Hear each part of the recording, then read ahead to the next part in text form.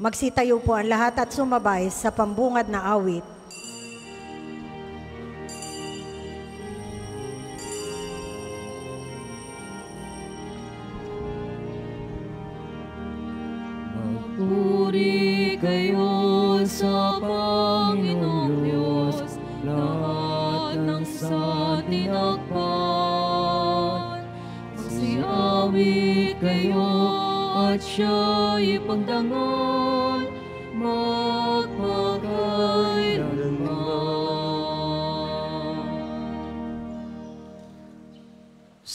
Sa ngalan ng Ama, ng Anak at ng Espiritu Santo, Amen.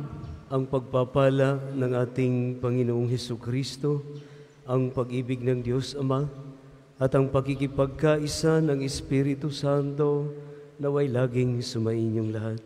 At sumainyo rin. Magandang umaga po sa inyong lahat. Magandang umaga po, Padre. Araw po ng biyernes sa unang linggo sa karaniwang panahon. Isama po natin ang ating mga daladalang kahilingan.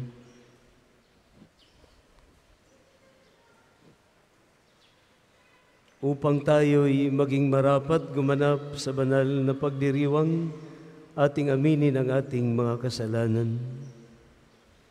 Inaamin ko Sa makapangyarihan Diyos at sa inyo, mga kapatid, na luba ako nagkasala sa isip, sa salita at sa gawa, at sa aking pagkukulang.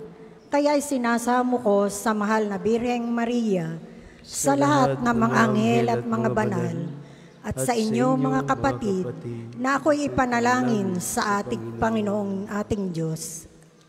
Kaawaan tayo ng makapangyarihang Diyos, patawarin tayo sa ating mga kasalanan, at patnubayan tayo sa buhay na walang hanggan. Amen.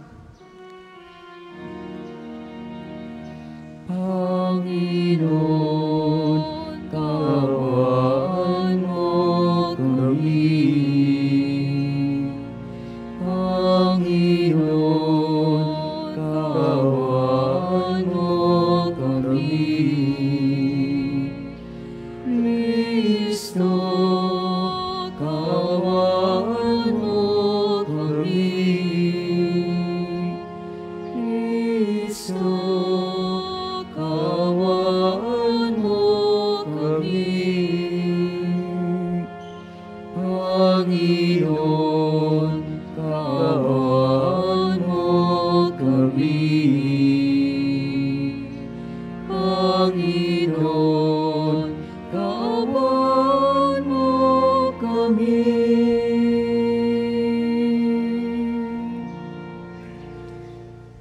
Manalangin tayo. Ama naming makapangyarihan, ang iyong dumadalanging sambayanan ay matapat mo nawang lingapin at subaybayan upang makita namin ang dapat gampanan at para rito'y magkaroon kami ng kakayanan. Sa pamamagitan ni Yesu Kristo, kasama ng Espiritu Santo, magpa sa walang hanggan. Amen.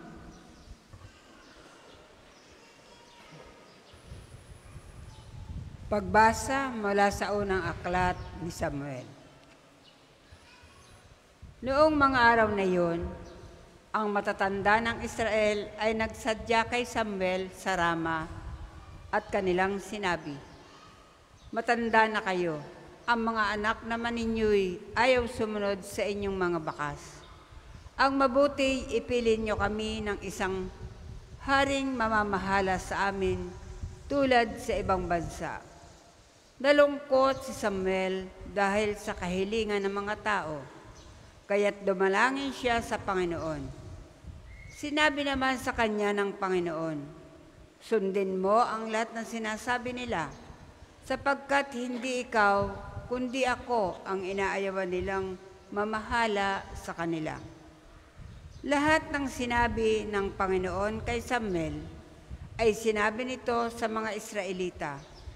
Ito ang sabi niya, Ganito ang gagawin sa inyo na magiging hari ninyo. Kukunin niya ang mga anak ninyong lalaki upang gawing kawal. Ang iba'y sakay sa karwahing pandigma ang iba'y mga ngabayo, at ang iba na may lakad na mangunguna sa pagsalakay. Ang iba'y gagawing pinuno para libo-libo at lima-limampu. Ang iba'y itatalagan niya sa kanyang bukirin at sa gawain ng mga kag- kagawaan ng mga kagamitan at karawahing pandigma. Ang inyong mga anak na babae naman ay gagawin niyang manggagawa ng pabango, tagapagluto at tagagawa ng tinapay. Kukunin din niya ang pinakamagaganda ninyong bukirin, ubasan, taniman ng ulibo at paaalagaan sa kanyang mga tauhan. Kukunin din niya ang ikasampung bahagi ng inyong ani sa bukid at ubasan para ibigay sa kanyang mga pinuno at sa mga katulong sa palasyo. Kukunin niya pati ang inyong mga alila, babae at lalaki, ang pinakamagaganda ninyong baka, kabayo at asno. Kukunin din ang inyong kawan at kayo'y gagawin niyang alipin. Pagdating ng araw na yon, idadaing ninyo sa Panginoon ang inyong hari na kayo na rin ang pumili, ngunit hindi niya kayo pakikinggan. Hindi rin pinansin ng mga Israelita ang sinabi ni Samuel. Sa halip, sinabi nila, kahit ano ang gawin sa amin ay ibig pa rin naming hari ang mamamahala sa amin. Sa gayon, matutulad kami sa ibang bansa. Pamamahalaan kami ng ibang haring magtatanggol sa amin laban sa mga kaaway. Ang lahat ng ito'y sinabi ni Samuel sa Panginoon.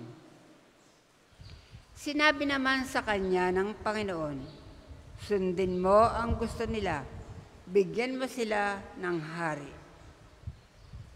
Ang salita ng Diyos. Salamat sa Diyos. Salmong tugunan, pag-ibig kong walang maliw ay lagi kong sasambitin. Pag-ibig mong walang maliw ay lagi kong sasambitin. Mapalad ang taong sa iyo'y sumasamba, sa pagsamba nila'y inaawitan ka, at pag-ibig mo'y namumuhay sila. Sa buong maghapon, ika'y pinupuri, ang katarungan mo'y siyang sinasabi. Pag-ibig kong walang maliw ay lagi kong sasambitin. Ang tagumpay namin ay iyong kaloob, dahilan sa iyong kagandahang loob. Pagkat pinili mo, yaong hari namin, kaloob mo ito, banal na Israel.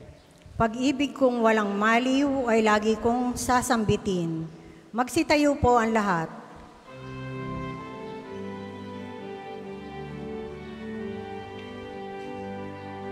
Alleluia,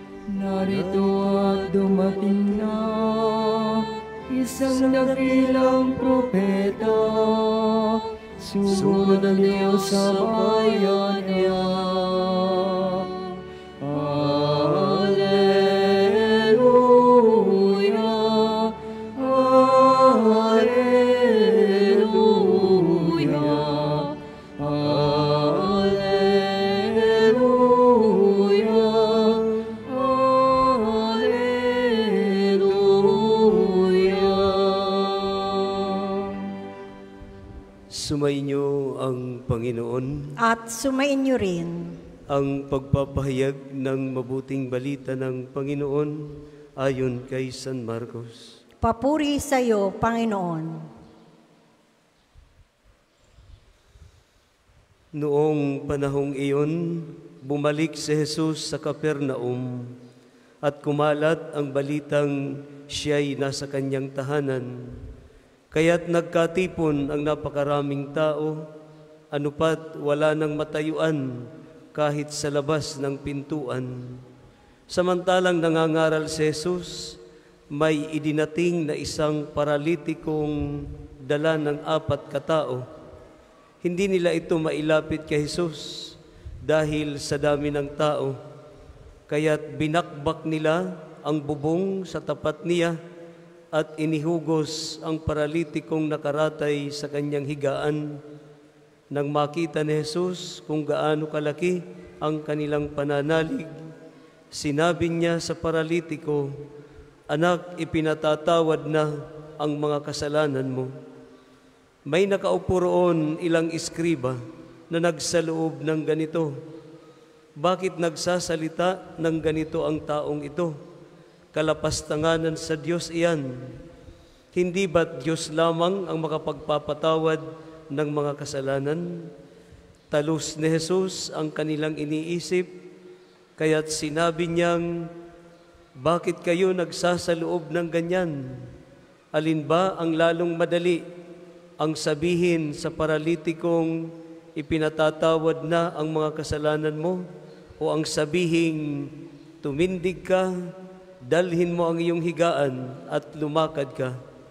Patutunayan ko sa inyo na dito sa lupa ang anak ng tao ay may kapangyarihang magpatawad ng mga kasalanan.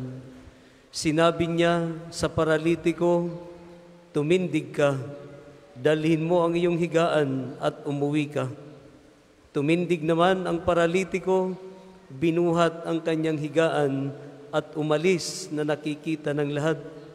Sila'y pawang ng gilalas at nagpuri sa Diyos. Hindi pa kami nakakikita ng ganito, sabi nila.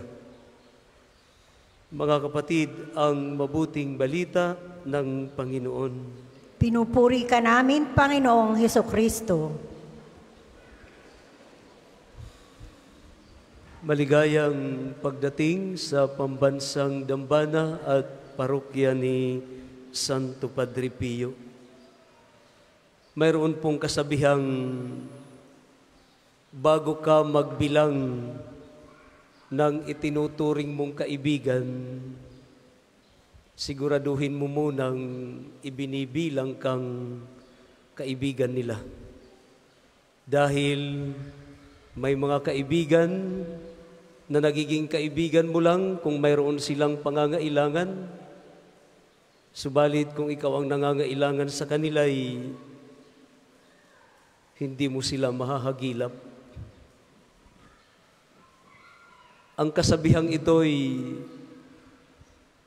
may katotohanan kaya?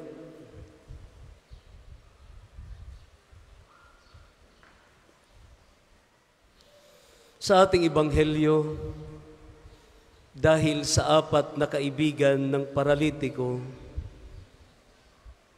siya ay napagaling ng ating Panginoon.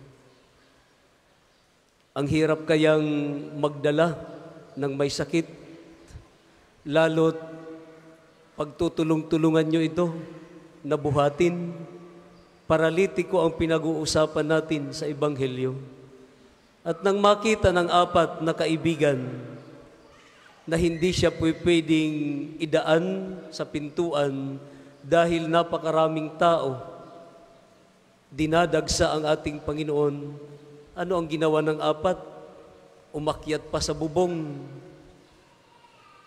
Tinanggal ang bubong at doon inihugos sa tapat ng ating Panginoon. At nang makita ito ng ating Panginoon, na-surprise ang ating Panginoon sa pananampalataya ng apat na kaibigan. Kaya ang unan niyang nasambit, Anak, pinatatawad na ang iyong mga kasalanan. Dahil sa apat na kaibigan na nagdala sa harapan ng ating Panginoon. Napakagandang katotohanan na ang kaibigan natin ang mag-aakay sa atin patungo sa Panginoon. Sabi nga sa aklat ng Ecclesiastes, kung ang isang tao'y makahanap ng tunay na kaibigan na magdadala sa kanya sa kabutihan, ito'y parang kayamanan na kanyang nahukay at kailangan niyang pangalagaan dahil minsan lang ang taong makahanap ng tunay na kaibigan. Marahil kung ating pagninilayan ang mensahe sa atin ngayon, sa ating ebanghelyo, kadalasan kasi ang kaibigan ay impluensya, kung hindi kabutihan, kasamaan. It's either sa dalawa. Subalit, binibigyan po tayo ng ating Panginoon ngayon ng katotohanan na ang kaibigan ay tunay na kaibigan kung ito ang magdadala sa atin patungo sa kabutihan. At ito dapat ang ating hanapin at hindi lang hanapin kung hindi ipanalangin sa Diyos dahil bibigyan po tayo ng mga tunay na kaibigan ng Diyos. Mayroon pong mga taong manggagamit na nagiging kaibigan mo lang pag ikaw ay pinakikinabangan. Subalit, pagkatapos na ikaw ay pakinabangan, dyan na po lalabas ang mga tunay na ugali ng itinuturing mong kaibigan. Kaya nga, sa pagpapaalala sa atin ngayon ng ating Panginoon, na kung saan ay dahilan sa apat na kaibigan na naging tulay at naging instrumento para sa kagalingan ng paralitikong ito. Ang kanyang paalala sa atin, naway makahanap tayo ng mga tunay na kaibigan. Sa parte naman po ng paralitiko, tingnan niyo po, hindi po siya naging maarte. Ano? Kadalasan kasi napaka-sensitive ng mga taong may sakit. Pwede niyang sabihin, huwag yun akong dalhin doon nakakahiya o kaya naman magiging istorbo lang ako. Ibig sabihin, noong dalhin siya ng apat na kaibigang ito'y alam niya at may consent siya. At sa kanyang pagpayag, siya rin man ay naghahangad ng kagalingan at ipinagkatiwala niya ang kagalingang ito sa apat na kaibigan niyang nagdala sa Kanya sa ating Panginoon. Kaya kung titingnan po natin, mayroong kooperasyon ang bawat isa. At ito ang tunay na pagkakaibigan, hindi lamang sa pamamagitan ng paggagamitan. Oo, mayroong bagay na ganon na tinatawag na take and receive. Pero hindi lamang tayo parati ang tumatanggap galing sa ating mga kaibigan, kung hindi mayroon din po tayong kooperasyon para magkaroon ng magandang relasyon, magkaroon ng magandang resulta ang bawat pagkakaibigan. Muli, ang paanyaya sa atin ng ating Panginoon, nawa, ipagpatuloy natin ang pananalangin at paghahanap ng mga tunay na kaibigan na silang magdadala sa atin sa kabutihan, lalong-lalo na mag-aakay sa atin patungo sa ating Panginoon. Amen. Para sa mga maghahandog ng sobre, pakihulog na lamang po sa buslo.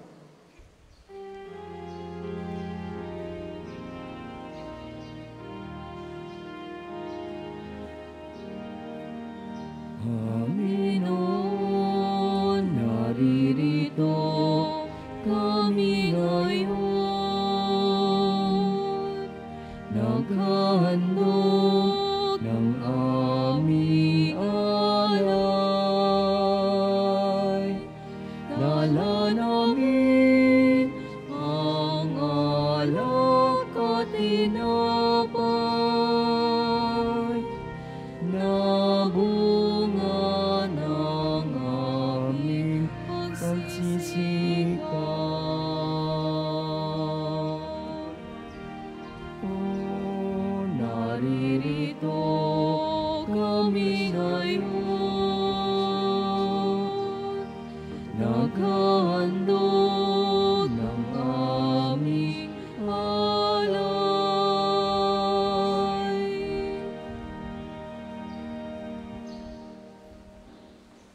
Magsitayo po ang lahat.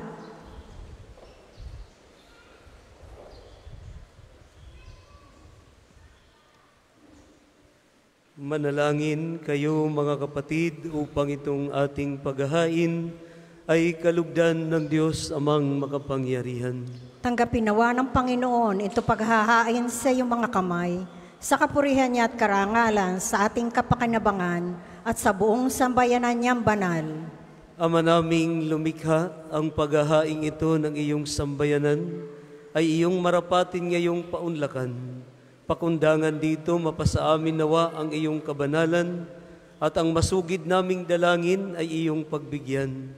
Sa pamamagitan ni Heso Kristo, kasama ng Espiritu Santo, magpa sa walang hanggan. Amen. Sumainyo ang Panginoon, At sumayin niyo rin, itaas sa Diyos ang inyong puso at diwa. itinaas na namin sa Panginoon. Pasalamatan natin ang Panginoong ating Diyos. Marapat na siya ay pasalamatan. Ama naming makapangyarihan, tunay ngang marapat na ikaw ay aming pasalamatan sa pamamagitan ni Heso Kristo na aming Panginoon. Utang na loob ang nagbubunsod upang gunitain ang kamatayan niya para kami ay buhayin. Pagtitiwala ang sanhi ng ligayang di malilimot sa pagkabuhay niyang sa amin ay kaloob. Pag-asa ang dahilan ng pagiging handa para sa pagbabalik niyang totoong dakila. Kaya kaisa ng mga anghel na nagsisiawit ng papuri sa iyo nang walang humpay sa kalangitan, kami nagbubunyi sa iyong kadakilaan.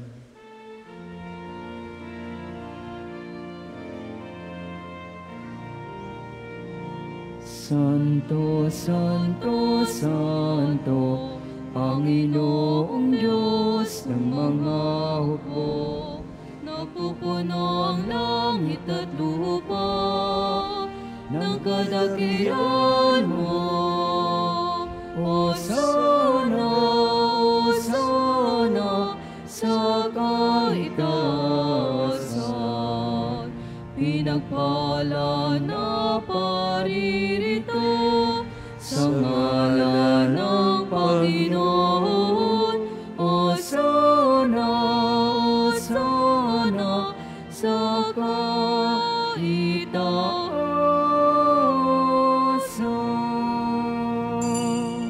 Kung hindi kayo lumuhod, manatili pong nakatayo na may paggalang.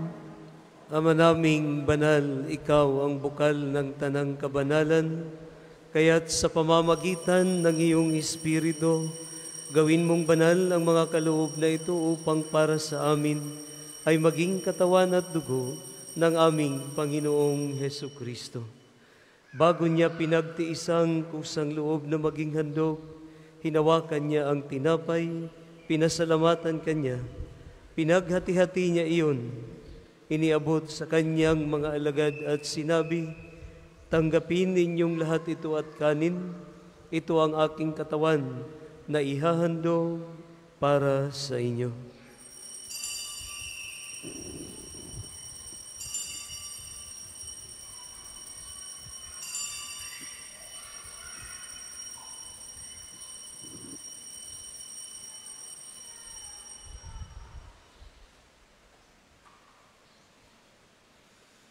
Gayon din naman nang matapos ang hapunan, hinawakan niya ang kalis at muli kanyang pinasalamatan. Iniabot niya ang kalis sa kanyang mga alagad at sinabi, Tanggapin ninyong lahat ito at inumin. Ito ang kalis ng aking dugo ng bago at walang hanggang tipan. Ang aking dugo na ibubuhos para sa inyo at para sa lahat sa ikapagpapatawad ng mga kasalanan. Gawin ninyo ito sa pag-alala sa akin.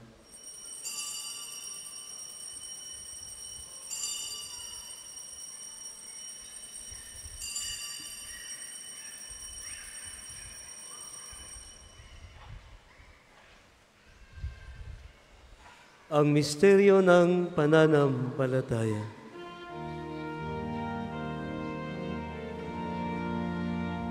Si Kristo ay gunitain, sa sarili niya'y inihain, bilang pagkain inumin, pinagsasaluan natin hanggang sa siya'y dumating. Ama, ginagawa namin ngayon ang pag-alala sa pagkamatay at muling pagkabuhay ng iyong anak. Kaya tiniaalay namin sa iyo ang tinapay na nagbibigay buhay at ang kalis na nagkakaloob ng kaligtasan. Kami nagpapasalamat dahil kami iyong minarapat na tumayo sa harap mo para maglingkod sa iyo. Isinasamo namin kami magsasalo-salo sa katawan at dugo ni Kristo ay mabuklod sa pagkakaisa sa pamamagitan ng Espiritu Santo. Amalingapin mo ang iyong simbahang laganap sa buong daigdig. Puspusin mo kami sa pag-ibig. Kaisa ni Francisco na aming Santo Papa, ni Gilbert na aming obispo at ng Tanang Kaparian. Alalahanin mo sina Elisa Nunez at Marcelino Ner na tinawag mo mula sa daigdig na ito noong sila'y binyagan sila'y nakaisa ni Kristo sa pagkamatay. Ngayong sila'y pumanaw, naway makaisa sila ni Kristo sa pagkabuhay. Alalahanin mo rin ang mga kapatid naming nahimlay, nang may pag-asang sila'y muling mabubuhay, gayon din ang lahat ng mga pumanaw. Kaawaan mo sila at patuloyin sa iyong kaliwanagan. Kaawaan mo't magindapatin kaming lahat na makasalo sa iyong buhay na walang wakas kaisa ng mahal na Berhing Maria na ina ng Diyos, si San Jose ang kanyang banal na esposo, ang mga apostol at ang lahat ng mga banal, si Santo Padre Pio na namuhay dito sa daigdig ng kalugod-lugod sa iyo. May pagdiwang nawa namin ang pagpupuri sa ikararangal mo sa pamamagitan ng iyong anak na aming Panginoong Heso Kristo. Sa pamamagitan ni Kristo, kasama niya at sa Kanya, ang lahat ng parangal at papuri ay sa iyo, Diyos amang makapangyarihan, kasama ng Espiritu Santo, magpa sa walang hanggan. Amen. Amen. Amen.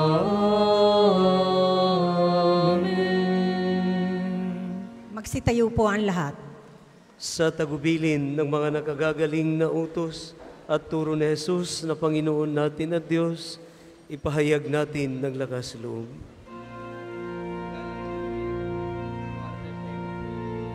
Ama namin, sumasalangit ka, sambahin ang ngalan mo. Mapasa amin ang kaharian mo. Sundin ang mo dito sa lupa para ng sa langit. Bigyan mo kami ngayon ng aming kakanin.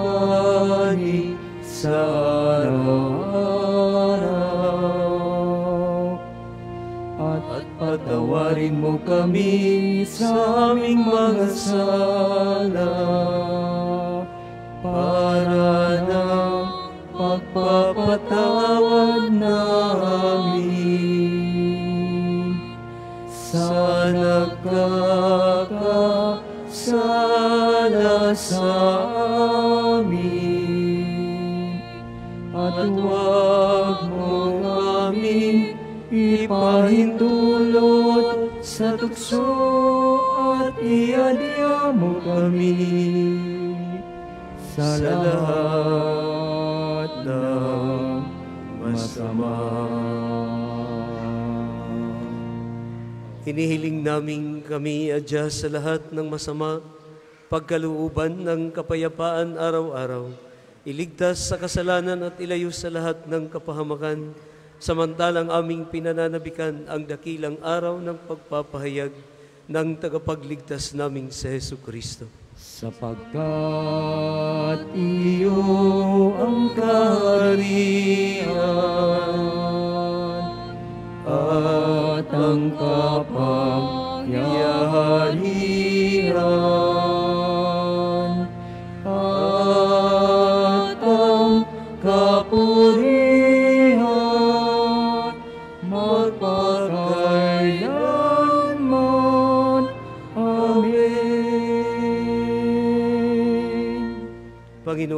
Heso Kristo, sinabi mo sa iyong mga apostol, Kapayapaan ang iniiwan ko sa inyo, ang aking kapayapaan ang ibinibigay ko sa inyo. Tunghayan mo ang aming pananampalataya at huwag ang aming mga pagkakasala. Pagkalooban mo kami ng kapayapaan at pagkakaisa ayon sa iyong kalooban, kasama ng Espiritu Santo, magpa sa walang hanggan. Amen. Ang kapayapaan ng Panginoon, naway laging sumayinyong lahat. At sumayin niyo rin. Magbigayan po tayo at magangad ng kapayapaan sa isa't isa.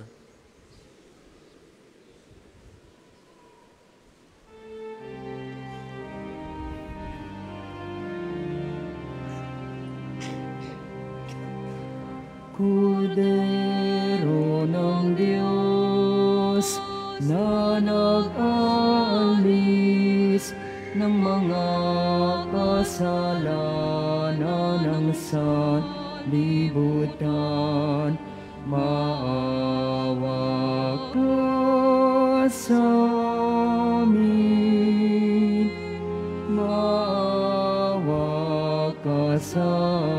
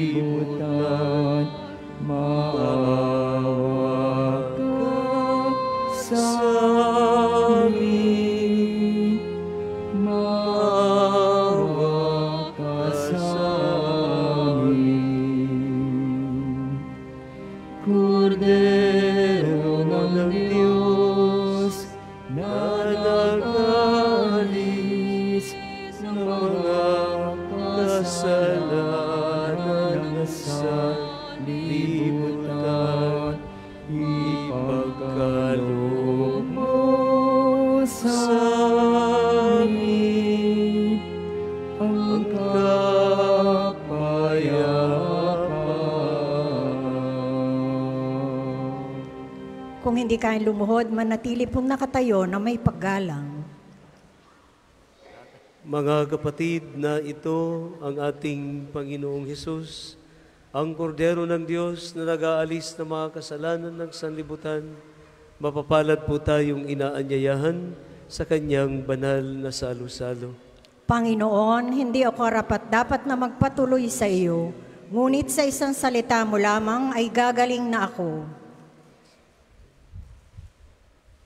Ang katawan ni Kristo. Amen.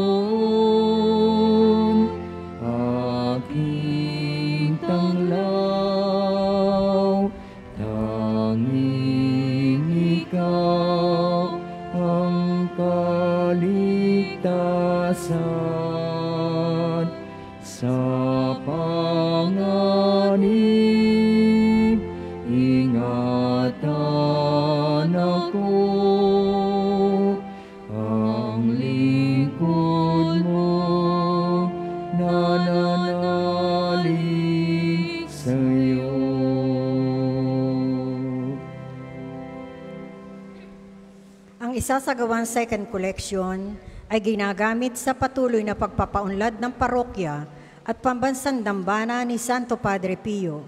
Salamat po sa inyong handog. Ay, ay,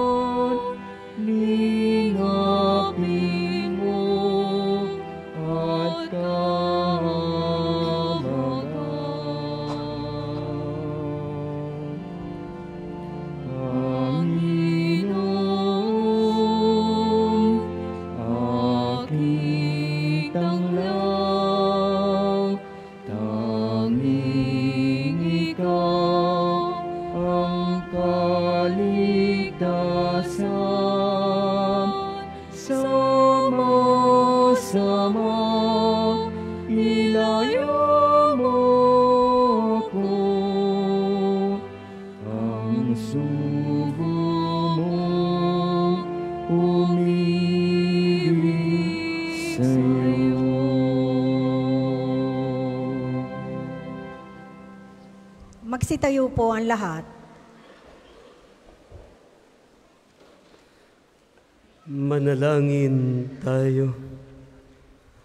Ama naming mapagmahal, hinihiling naming kami po ay pagbigyan, pakundangan sa iyong dulot sa pakikinabang.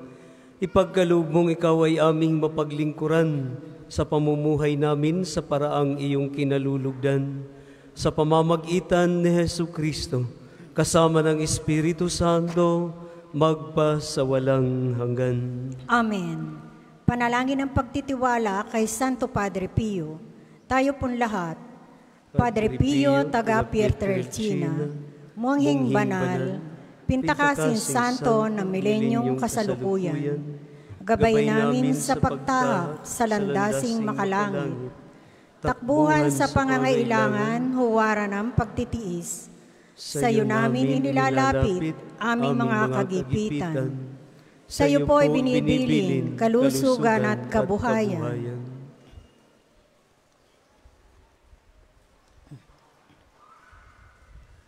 Di man karapat dapat kami po ay pagbigyan, bendisyonan at basbasan maging ganap sa buhay.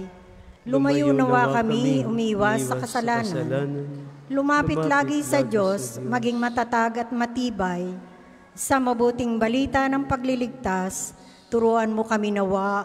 Sa tuwina ay makinig, magnilay at sumampalataya. Amin pong pakiusap itong mga kahilingan. Puso ay nagsisisi, nagtitikang taimtiman. Di na muling magkasala, sunod lagi sa Diyos Amang. Kaisa ng Espiritu at ni Jesus na tagapamagitan. Amen. Ang lahat po ay magsiupo para sa mga patalastas. Una, sa inyong pagdalaw sa pambansang dambana, mangyaring pakaingatan ang inyong mga personal na gamit. Hangad namin ang isang matiwasay at maayos na pagbisita sa National Shrine. Ikalawa, mga kapiyo, kami po ay humihingi na inyong kaunting oras at pakikiisa para sa pagsusulat ng inyong mga pangalan at ilang detalye sa ating Pil- Pilgrim's Information Record Books na makikita sa paligid ng ating mga simbahan. Ito po ay bahagi ng documentation program para sa pagpapalawig ng mga datos at turismong pangsimbahan at bilang alaala din ng inyong pagbisita sa Pambansang Dambana. Para po sa ating mga balikbayan, OFW at mga kasama niyong foreigners, doon po kayo magsusulat sa International Pilgrims Record Book. Gagabayan po kayo ng ating mga tagapaglingkod. Ikatlo, bukas po araw ng Sabado, ikalabing tatlo ng Enero, ay formal na ilulunsad ang bisita pastoral sa Archdiocese ng Lipa. Wala pong misa na ikalabing dalawa ng tanghali at ang misa na ikasyam ng umaga at ikalawa ng hapon ay healing mass at liturhiya ng pagpapagaling na may pagbabasbas ng banal na tubig. Salamat po. Ang susunod pong misa ay sa ganap na ikalabing dalawa ng tanghali. Maraming salamat po at mangyaring panatilihin natin ang kalinisan, katahimikan at diwa ng pananalangin sa loob at labas ng ating mga simbahan. Magsitayo na po ang lahat para sa pagbabasbas ng religious articles. Mga kapatid, manalangin tayo sa Diyos amang makapangyarihan upang tayo ay maging kawangis ni Kristo sa taimtim na pagdalangin sa tulong ng mga larawan at ng mga dasalan. O Panginoong Diyos, Ikaw ang bukal ng lahat ng pagpapala at biyaya. Ibuhos po ninyo ang inyong bendisyon sa iyong sambayanan na nasa iyong harapan ngayon, kasama ang kanilang mga gamit sa pananalangin na nagpapaalala ng iyong kabutihan, kabanalan at pagmamahal sa amin, upang ang lahat na dumulog at magdasal ay magtamo ng iyong awa at biyaya.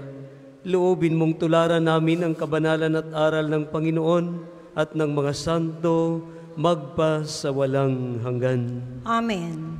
Ama namin, sumasalangit ka, sambahin ang ngalan mo, mapasa amin ang kaharian mo, sundin ang loob mo dito sa lupa para na sa langit. Bigyan mo kami ngayon ng aming kakanin sa araw-araw at patawarin mo kami sa aming mga sala para ng pagpapatawad namin sa nagkakasala sa amin. At huwag mo kaming ipahintulot sa tukso at iadya mo kami sa lahat ng masama. Amen. Abaginoong Maria, napupuno ka ng grasya, ang Panginoong Diyos ay sumasa iyo. Bukod kang pinagpala sa babaeng lahat, at pinagpala naman ang iyong anak na si Jesus. Santa Maria, Ina ng Diyos, ipanalangin mo kaming makasalanan, ngayon at kung kami mamamatay. Amen. Luwalhati sa Ama, sa Anak at sa Espiritu Santo, kapara noong una, ngayon at magpasawalang hanggan. Amen. Abaginoong Maria, napupuno ka ng grasya, ang Panginoong Diyos ay sumasa iyo.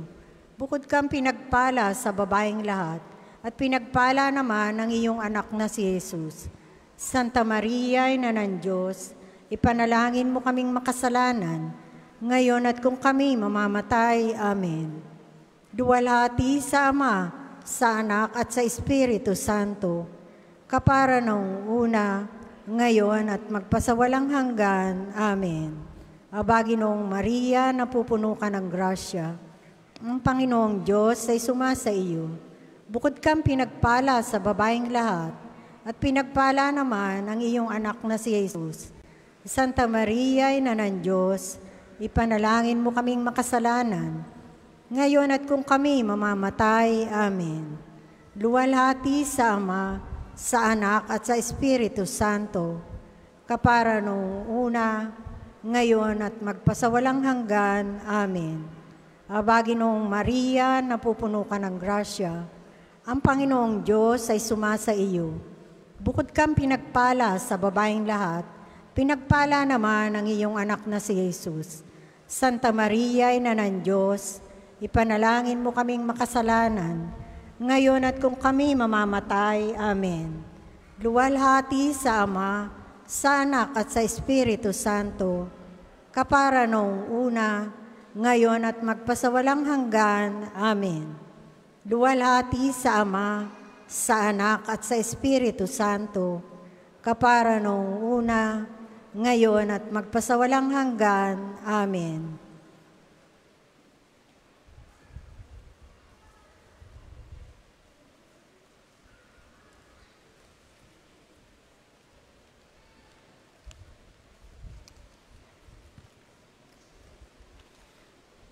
Sumainyo ang Panginoon At sumainyo rin. at pagpalain po kayong lahat ng makapangyarihang Diyos, ang Ama, Anak at ang Espiritu Santo. Amen. Naialay na po ang banal na misa, humayo kayong mapayapa.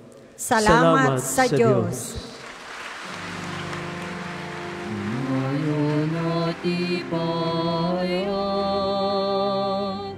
Kanyang pagkalingat Ama.